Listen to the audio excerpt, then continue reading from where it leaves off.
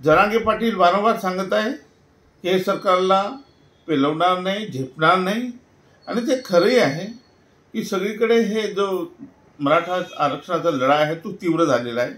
आणखी दोन दिवसात आणखी तीव्र होण्याची शक्यता आहे. पन्नास टक्केच्या आत ओबीसीला धक्का न लागता संविधानिक आरक्षण आणि मराठा म्हणून आपण आरक्षण देऊ शकतो. संविधानात्मक आरक्षण आपल्याला देता येईल.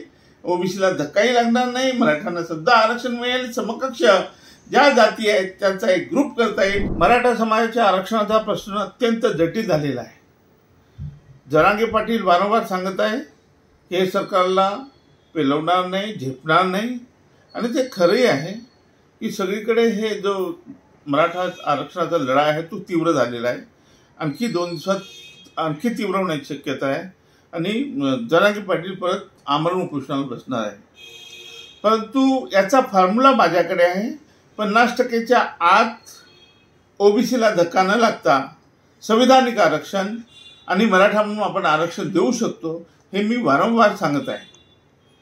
असाच एक प्रसंग एकोणतीस वर्षापूर्वी माझ्यावर आला होता. मी सरकारला सल्ला दिला होता. माने शरद पवार साहेब मुख्यमंत्री होते.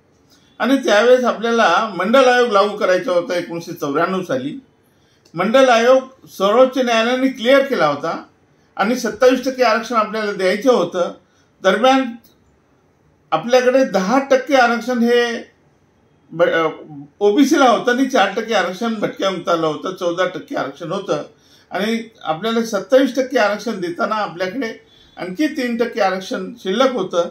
ते एकूण तीस टक्के आरक्षणाचं डिस्ट्रीब्युशन झालं अपकड झालं. आपण भटक्यांना वेगळं विमुक्तांना वेगळं धनगराला वेगळं अपकड केलं थोडक्यात.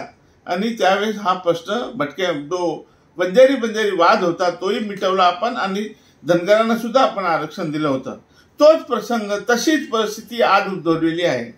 आणि म्हणून माझं म्हणणं आहे की ओबीसीचं सबकॅटेशन करून आपल्याला देता येईल. सर्वोच्च न्यायालयाच्या त्याच निवाड्यामध्ये नऊ जजेसनी असं सांगितलं होतं की एखाद जर एखाद्या सरकारने ओबीसीचं सबकॅटरेशन केलं तर ते करता येईल का? Whether that will be the constitutionally valid yes that will be the constitutional valid आणि म्हणून संविधान संविधानात्मक आरक्षण आपल्याला देता येईल.